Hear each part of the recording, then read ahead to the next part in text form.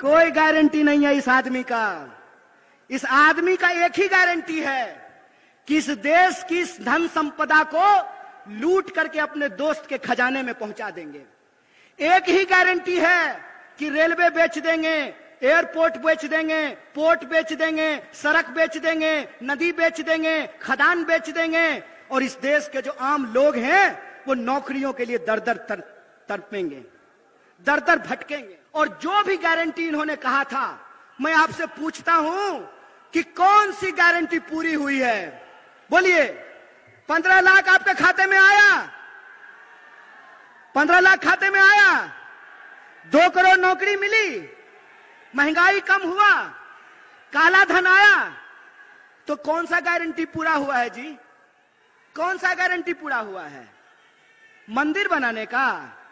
एक बात बताइए, मंदिर की बात चली है तो मैं भी एक बात कहना चाहता हूँ। देखे हैं राम जी के साथ फ़ोटो, सीता जी का? एक फ़ोटो बता दीजिए।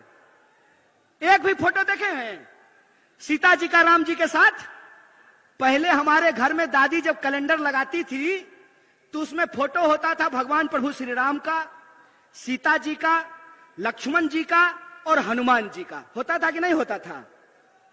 हनुमान जी सीता जी लक्ष्मण जी कोई फ़ोटो में नहीं दिख रहे हैं। मतलब मतलब यही होता है कि जिनको धर्म का मतलब नहीं मालूम होता है ना तो जब वो धर्म का पाखंड करते हैं तो उनसे गलती हो ही जाती है। गोस्वामी तुलसीदास ने लिखा है, रावण रथी, विरथी रघुवीरा। मतलब रावण रथ पर सवार है और भगवान प्रभु श्री राम पैदल चल करके आ रहे हैं। बताइए, आज की तारीख में रथ पर कौन सवार था? कौन सवार था रथ पर? रथ पर सवार थे अधर्मी लोग। रथ पे सवार थे अन्यायी लोग। रथ पे सवार थे इस समाज को बांटने वाले लोग। रथ पर सवार थे इस समाज में नफरत फैलाने वाले लोग। बीसीसीआई का सेक्रेटरी बनेगा गृह मंत्री का बेटा। और हमको जो है ठेके का नौकरी दीजिएगा। मंत्री बनेंगे पाँच साल के लिए, प्रधानमंत्री बनेंगे पाँच साल के लिए, और अग्निवीर योजना के तहत हमको चार साल का नौकरी दीजिएगा। चार साल का नौकरी दीजिएगा। और उसमें देश की सेवा करते हुए अगर हमारी शहादत होती है, हमारी जान जाती है तो हमको शहीद का दर्जा नहीं दीजिएगा। कि एक तरफ़ डॉक्टर स्वामीनाथन को भारत रत्न देते हैं और दूसरी तरफ़ इस देश के किसानों के ऊपर डंडे चलाते हैं, गोलियाँ चलाते हैं, आँसू गैस के गोले छोड़ते हैं। बोलिए, बेईमानी है कि नहीं है?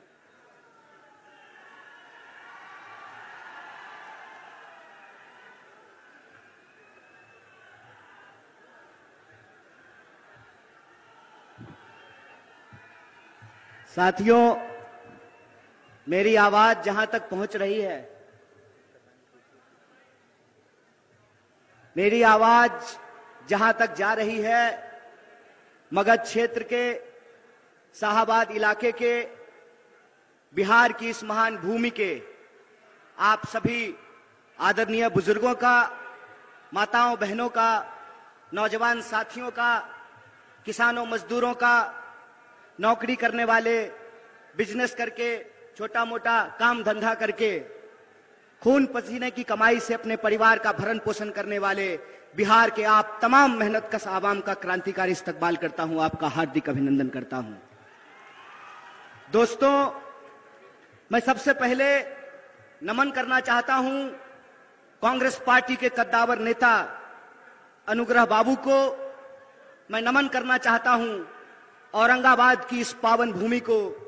मैं नमन करना चाहता हूँ सम्मानित मंच पर उपस्थित बिहार प्रदेश कांग्रेस कमेटी के तमाम कार्यकर्ताओं और नेताओं को और आप लोगों से सबसे पहले मैं यह साझा करना चाहता हूँ, सामने पीछे जो वो सीमेंट वाला मंच दिख रहा है ना, सबसे पहली बार इस गांधी मैदान में हम उसी मंच पर आए थे, जब बिहार के, पूरे बिहार के सूबे बिहार में अड़तीसों ज़िले में जनगण मन यात्रा लेकर के हम चल रहे थे।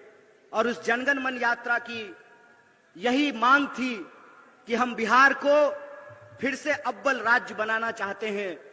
बिहार की जो गरिमा है, उस गरिमा को वापस लाना चाहते हैं। और बिहार की जो संस्थाएँ हैं, बिहार के जो विश्वविद्यालय हैं, उनका मान सम्मान वापस दिलाना चाहते हैं। मैं आप सब लोगों को याद दिलाना चाहता हूँ कि जो पटना यूनिवर्सिटी है उसको ईस्ट का ऑक्सफोर्ड कहा जाता था। और दुनिया के महान वैज्ञानिक, कलाकार, साहित्यकार, इतिहासकार, तमाम तरह की विभूति पटना विश्वविद्यालय से निकले। मेरी भी पढ़ाई लिखाई मगध यूनिवर्सिटी से हुई है। और मगध क्षेत्र के एक बड़े मशहूर मगही कवि हुए, जिनका नाम था मथुरा प्रसाद नवीन। और मथुरा प्रसाद नवीन कहते थे, भूख से तरप के मरवा काहे, मरने होते लड़के मर जा जुलमी बढ़ला, तहू बढ़ जा। भूख से तरप के मरवा काहे, मरने हो तो लड़के मर जा मैं समझता हूँ कि बिहार को, बिहार की एक एक आवाम को यह बात याद करने की ज़रूरत है कि हमारा गौरवशाली इतिहास क्या रहा है। हमारी ऐतिहासिक परंपरा क्या रही है? यह बात मैं इसलिए कह रहा हूँ कि भारत जोड़ो न्याय यात्रा के क्रम में जब हमारी यात्रा मणिपुर से चल करके विभिन्न राज्यों से होते हुए तैतीसवें दिन एक बार फिर से जब औरंगाबाद की महान भूमि पर पहुँची है तो मैं एक दर्द आप तमाम लोगों से साझा करना चाहता हूँ। कहते हैं ना कि दुनिया के किसी इलाके में चले जाइए कोई पद ले लीजिए, कोई पोस्ट ले लीजिए, लेकिन एक बिहारी, अगर जन्मता बिहारी है तो मरते दम तक बिहारी रहता है, उसकी पहचान बिहारी रहती है। और हम जहाँ भी जाते हैं, हर जगह लोग ये सवाल पूछते हैं, कि अच्छा कन्हैया, ये बताओ कि बिहार में क्या हो गया? और उस वक्त मैं बड़े अफसोस के साथ आप लोगों से यह दर्द साझा कर रहा हूँ कि मेरे आँखों में पानी आता है और पहली बार ज़िंदगी में आँख शर्म से नीचे झुक जाता है, क्योंकि बिहार में, पटना में जो बैठे हुए राजनेता हैं, उनको नहीं मालूम है कि अपनी राजनीतिक अवसरवादिता के चलते बिहार की भूमि का पूरी दुनिया में ये लोग अपमान कर रहे हैं। ये भूल गए हैं कि बिहार कौन सी धरती है और बिहार ने किस तरीके से दुनिया को सत्य और अहिंसा का पाठ पढ़ाया है? बिहार सिर्फ़ सत्य और अहिंसा की भूमि नहीं है, बिहार मोक्ष की भी भूमि है और पूरी दुनिया के हिंदू मोक्ष लेने के लिए, मुक्ति लेने के लिए बोध गया में पिंडदान करने के लिए आते हैं। और पूरी दुनिया को सत्य और अहिंसा का पाठ पढ़ाने वाला महात्मा बुद्ध महात्मा बुद्ध पैदा सिद्धार्थ हुए थे, महात्मा बुद्ध नहीं पैदा हुए थे। लेकिन सिद्धार्थ, जब बिहार की धरती पर आए तो पीपल के पेड़ के नीचे वो महात्मा बुद्ध हो गए। उनको ज्ञान की प्राप्ति हुई, वो महात्मा बुद्ध बन गए। आप सब जानते हैं, ये कांग्रेस पार्टी का मंच है, और आप सब कांग्रेस पार्टी के शेर दिल कार्यकर्ता हैं, ज़िंदा दिल इंसान हैं आप लोग। तो मैं आपको याद दिलाना चाहता हूँ कि जिनको हम बापू कहते हैं, मोहनदास करमचंद मोहनदास करमचंद जब बिहार में आए तो वो मोहनदास थे।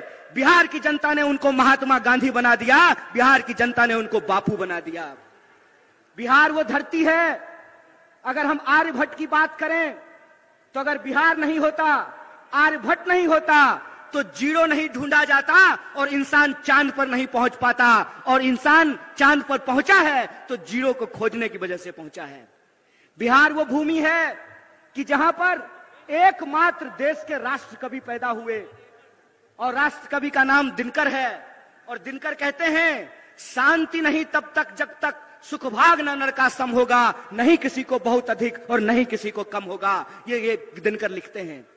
ये बिहार की जो ऐतिहासिक परंपरा है, ये बिहार की जो गौरवशाली परंपरा है, उस बिहार की गौरवशाली परंपरा को धूमिल करने का काम किया है भाजपा ने। बिहार की गौरवशाली परंपरा को पलटू राम बनाने का काम किया है भाजपा ने। इसीलिए मैं आप तमाम लोगों से एक अपील करना चाहता हूँ, सवाल चुनाव जीतने का नहीं है। सवाल किसी को मुख्यमंत्री और प्रधानमंत्री बनाने का नहीं है। सवाल यह है कि बिहार में रहने वाले जो चौदह करोड़ लोग हैं, चाहे वो किसी भी जाति के हों चाहे वो टीका लगाने वाले हों या टोपी पहनने वाले हों, किसी भी धर्म के हों, किसी भी संप्रदाय के हों, किसी भी बोली को बोलने वाले हों, चाहे वो मगही बोलते हो, भोजपुरी बोलते हो, मैथिली बोलते हो, अंगिका बोलते हो, कोई भी भाषा बोलते हो, बिहार के जो चौदह करोड़ लोग हैं, उनके आत्मसम्मान का सवाल है। फुटबॉल है जी वोट ले लीजिएगा और जब मन करेगा तब लतिया दीजिएगा। है? ये जो बिहार के लोग हैं, बिहार के लोगों को ये सोचना पड़ेगा। महज अपनी कुर्सी के लिए, महज अपनी राजनीति के लिए, महज अपने चुनावी गुना गणित के लिए बिहार के भविष्य को अंधकार में धकेला जा रहा है। इसीलिए मैं बिहार के नौजवानों से खास करके यह अपील करना चाहता हूँ। दोस्त, एक बात याद रखिएगा। यह लड़ाई किसी पार्टी को सत्ता में लाने की नहीं है। यह लड़ाई इस बात की है कि अगर हम इस देश के नागरिक हैं तो हमारा हक इस देश के दूसरे नागरिकों के बराबर है कि नहीं है।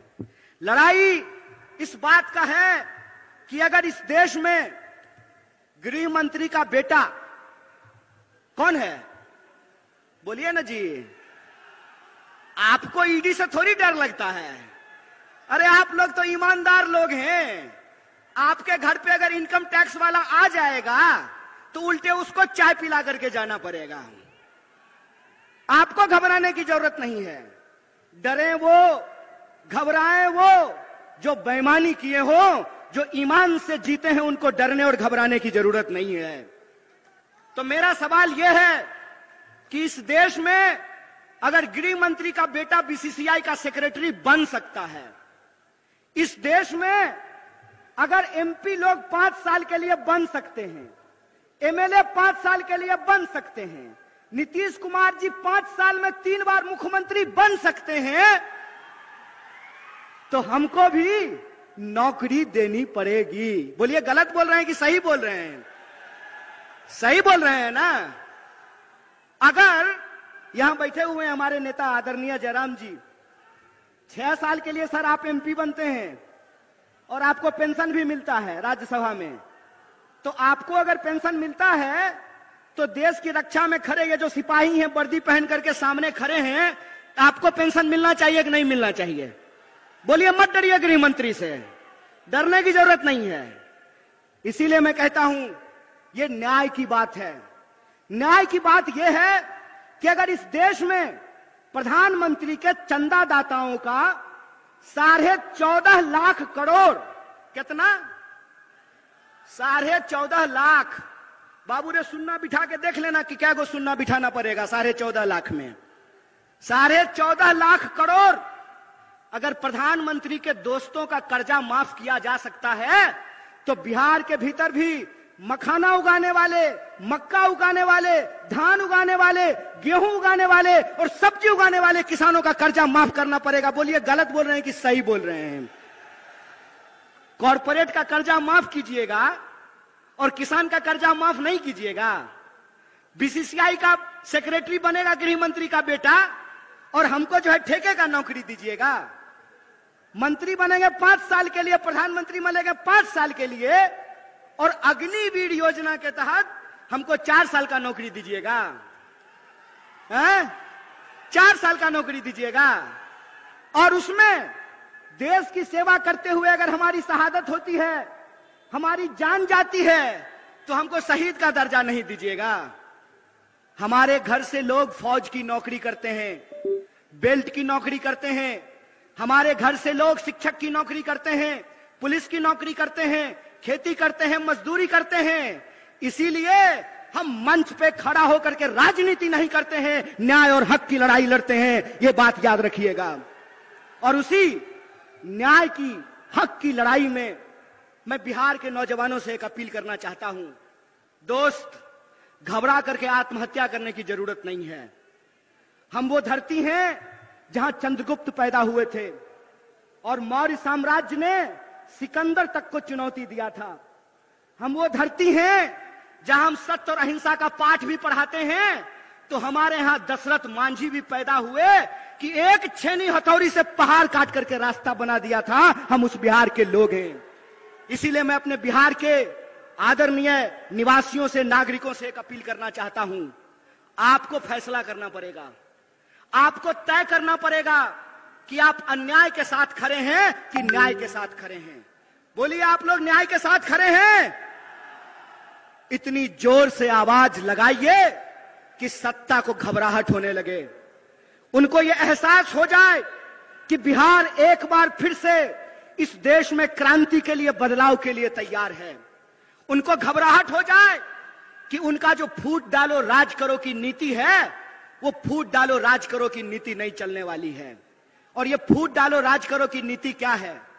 टीवी खोल करके देख लीजिएगा। भाई लोग, आपसे कोई शिकायत नहीं है। हमको मालूम है कि जो लोग मीडिया में नौकरी कर रहे हैं, उनके पिताजी प्रधानमंत्री नहीं है गृह मंत्री नहीं है, मुख्यमंत्री नहीं है। वो साधारण परिवार के लोग हैं।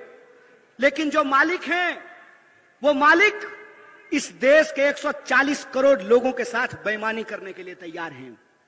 आप टीवी खोल करके देख लीजिए टीवी आपका रिचार्ज कराया है आपने। रिचार्ज भरवाते हैं आप। लेकिन जब आप टीवी खोलेंगे तो आपके खिलाफ दिन भर बात की जाएगी। मैं आपको याद दिलाना चाहता हूँ, कितना ढिंढोरा पीटा गया? ढिंढोरा पीटा गया ना, कि कर्पूरी ठाकुर जी को भारत रत्न दिया गया है। बहुत खुशी की बात है। बहुत खुशी की बात है कि कर्पूरी ठाकुर जी को भारत रत्न दिया गया है। लेकिन कर्पूरी ठाकुर जिस समाज के लिए लड़ते थे, जिस समाज के हक और अधिकार के लिए लड़ते थे, उनके बच्चों के भविष्य के साथ खेला जा रहा है, उनकी नौकरियाँ समाप्त की जा रही है, उनकी नौकरियाँ छीनी जा रही है, किसानों को उनके फ़सल का दाम नहीं दिया जा रहा है, मजदूरों को मजदूरी नहीं दी जा रही है, महिलाओं के साथ अत्याचार किया जा रहा है। आप टीवी खोल करके देख लीजिएगा बड़ा बड़ा दावा किया गया, क्या कहा गया? कि चौधरी चरण सिंह जी को भारत रत्न दिया जा रहा है। डॉक्टर स्वामीनाथन को भारत रत्न दिया जा रहा है। बहुत खुशी की बात है। बहुत आनंद की बात है कि इनको भारत रत्न दिया गया है। लेकिन मैं सवाल पूछता हूँ कि एक तरफ़ डॉक्टर स्वामीनाथन को भारत रत्न देते हैं और दूसरी तरफ़ इस देश के किसानों के ऊपर डंडे चलाते हैं, गोलियाँ चलाते हैं, आँसू गैस के गोले छोड़ते हैं। बोलिए, बेईमानी है कि नहीं है? भारत रत्न दे रहे हैं और किसान कह रहे हैं कि हमको हमारे फ़सल के दाम की गारंटी करो तो किसान को उनके फ़सल की गारंटी नहीं मिल रही है। मोदी जी कहते हैं, मोदी जी की गारंटी है। महाराज भाजपा की गारंटी होती तो एक मिनट के लिए मान भी लेते। मोदी जी की गारंटी है तो बिल्कुल भरोसा मत कीजिए। अगर विश्वास नहीं होता है तो यशोदा जी से जाकर के पूछ लीजिए। गारंटी लिए थे ना जी। अच्छा यहाँ पे भी बहुत सारे लोग बैठे हुए हैं। ब्याह शादी हुआ होगा, हमारा तो नहीं हुआ है।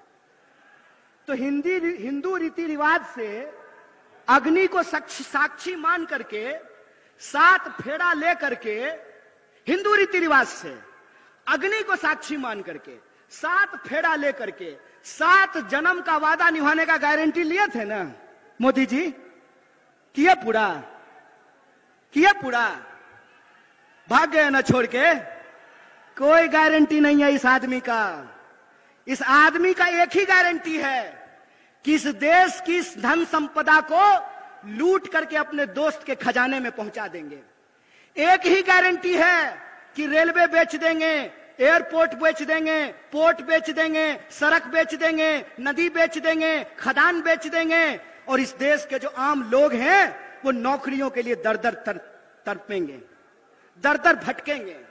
और जो भी गारंटी इन्होंने कहा था, मैं आपसे पूछता हूँ कि कौन सी गारंटी पूरी हुई है? बोलिए, पंद्रह लाख आपके खाते में आया? पंद्रह लाख खाते में आया? दो करोड़ नौकरी मिली? महँगाई कम हुआ? काला धन आया? तो कौन सा गारंटी पूरा हुआ है जी? कौन सा गारंटी पूरा हुआ है? मंदिर बनाने का? एक बात बताइए, मंदिर की बात चली है तो मैं भी एक बात कहना चाहता हूँ। मेरा जन्म मिथिला की पावन भूमि पर हुआ है। और मिथिला के लोग यह बात जानते हैं कि मिथिला की धरती माता जानकी की धरती है। माता जानकी, जिनके बारे में हम लोग कभी भी भगवान प्रभु श्री राम का नाम अकेले नहीं लेते हैं। जब भी बोलते हैं तो क्या बोलते हैं? बोलते हैं, सियापति रामचंद्र की जय। बोलिए, बोलते हैं कि नहीं बोलते हैं? देखे हैं राम जी के साथ फ़ोटो सीता जी का? एक फ़ोटो बता दीजिए। एक भी फ़ोटो देखे हैं? सीता जी का, राम जी के साथ? पहले हमारे घर में दादी जब कैलेंडर लगाती थी तो उसमें फ़ोटो होता था भगवान प्रभु श्री राम का, सीता जी का, लक्ष्मण जी का और हनुमान जी का। होता था कि नहीं होता था? हनुमान जी, सीता जी, लक्ष्मण जी कोई फ़ोटो में नहीं दिख रहे हैं। मतलब मतलब यही होता है कि जिनको धर्म का मतलब नहीं मालूम होता है ना तो जब वो धर्म का पाखंड करते हैं तो उनसे गलती हो ही जाती है। क्योंकि धर्म का मतलब होता है धारण करना। धर्म बना है संस्कृत के धृत धातु से, जिसका अर्थ होता है धारण करना। अगर आप धार्मिक हैं तो आपके अंग अंग से धर्म फूटता है। और मैं रामचरितमानस को कोट करना चाहता हूँ। रामचरितमानस में तुलसीदास जी ने क्या लिखा है? गोस्वामी तुलसीदास ने लिखा है, रावण रथी, विरथी रघुवीरा। मतलब रावण रथ पर सवार है और भगवान प्रभु श्री राम पैदल चल करके आ रहे हैं। बताइए, आज की तारीख में रथ पर कौन सवार था? कौन सवार था रथ पर? रथ पर सवार थे अधर्मी लोग। रथ पे सवार थे अन्यायी लोग, रथ पे सवार थे इस समाज को बांटने वाले लोग, रथ पर सवार थे इस समाज में नफरत फैलाने वाले लोग। इसीलिए बिहार के वासियों से कहना चाहता हूँ, ए मेरे दोस्त, बिहार का धर्म है, बिहारी होने का धर्म है, अपने हक और अधिकार के लिए संघर्ष करना। बिहारी होने का धर्म है कि 1942 में जब भारत छोड़ो आंदोलन हो रहा था तो बिहार का चप्पा चप्पा ब्रिटिश साम्राज्य के खिलाफ लड़ रहा था। इसीलिए मैं बिहार के आम आवाम से अपील करना चाहता हूँ कि अगर इस देश में आप बदलाव चाहते हैं चाहते हैं कि नहीं चाहते हैं? आप चाहते हैं कि महँगाई कम हो? आप चाहते हैं कि बेकारी कम हो? आप चाहते हैं कि किसानों को न्याय मिले? आप चाहते हैं कि मजदूरों को न्याय मिले? आप चाहते हैं कि नौजवानों को न्याय मिले? अगर चाहते हैं तो मैं आपको याद दिलाना चाहता हूँ कि जब जब बदलाव देश में हुआ है, उसकी पहल बिहार से हुई है, इस बात को याद रखिएगा। बिहार अगर करवट लेता है तो इस देश में परिवर्तन होता है, इस बात को याद रखिएगा। इसीलिए मैं आप तमाम बिहार भाषियों से अपील करना चाहता हूँ कि यह जो भारत जोड़ो न्याय यात्रा है, ये हमारे और आपके न्याय की बात है। यह जो भारत जोड़ो न्याय यात्रा है उस न्याय यात्रा में हम पाँच तरह का न्याय चाहते हैं। कितने तरह का? हाथ उठा करके बताइए। हम पाँच तरह का न्याय चाहते हैं। हम चाहते हैं कि इस देश में युवाओं को न्याय मिले, इसीलिए हमारा पहला न्याय है युवा न्याय। हम चाहते हैं कि इस देश में सभी समुदाय के लोगों को, सभी जाति के लोगों को, चाहे वो गरीब, जनरल हो चाहे वो पिछड़ा हो, अति पिछड़ा हो, दलित हो, महादलित हो, अल्पसंख्यक हो, अकलियत समाज के हो, महिला हो, पुरुष हो, हम सबकी भागीदारी सुनिश्चित करना चाहते हैं। तो दूसरा न्याय है हमारा भागीदारी का न्याय, हिस्सेदारी का न्याय। और तीसरा न्याय है हमारा, तीसरा न्याय है मजदूरों को न्याय। चौथा न्याय है हमारा नारी को न्याय। और पांचवा न्याय है हमारा किसानों को न्याय, उन किसानों को न्याय दिलाना जो एमएसपी का हक मांग रहे हैं। और मैं आपको याद दिला दूँ, भारतीय राष्ट्रीय कांग्रेस के माननीय अध्यक्ष श्री मल्लिकार्जुन खड़गे जी और हमारे नेता राहुल गांधी जी ने कहा है कि अगर इंडिया गठबंधन की सरकार बनेगी तो हम सबसे पहला काम यह करेंगे कि किसानों को एमएसपी की गारंटी देंगे। एमएसपी को कानूनी दर्जा दिया जाएगा। इसकी घोषणा कांग्रेस पार्टी ने की है। तो पाँच तरह के न्याय देने से इस देश को शक्ति मिलेगी। तो आप बताइए, आप देश को शक्तिशाली बनाना चाहते हैं नहीं बनाना चाहते हैं? बिहार को शक्तिशाली बनाना चाहते हैं नहीं बनाना चाहते हैं? इसीलिए हम आपसे अपील करना चाहते हैं। इसी अपील के साथ मैं अपनी बात को खत्म करूँगा कि आने वाले दिनों में जो अन्याय कर रहे हैं उनको अन्याय करने दीजिए। लेकिन आप अगर न्याय चाहते हैं, अपना न्याय चाहते हैं, आने वाली पीढ़ी का न्याय चाहते हैं तो आपको न्याय योद्धा बनना पड़ेगा। बोलिए, न्याय योद्धा बनेंगे? बिहार के एक एक लोग न्याय योद्धा बनने को तैयार हैं।